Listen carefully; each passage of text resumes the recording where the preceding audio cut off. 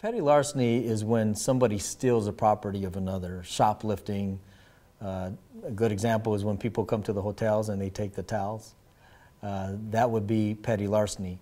The value has to be $650 or less uh, for the petty larceny. If it's over that, then it becomes grand larceny, felony.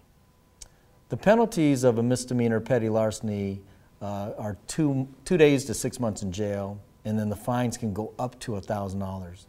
Uh, based on the petty larceny, if the person did steal another person's belongings, then you also are looking at restitution for that item that you stole.